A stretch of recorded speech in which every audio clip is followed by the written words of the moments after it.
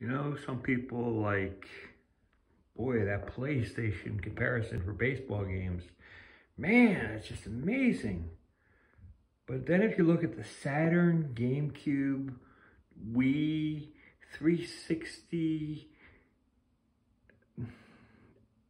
and the Dreamcast, and the Master System, and you compare that to all of the Sega Genesis titles.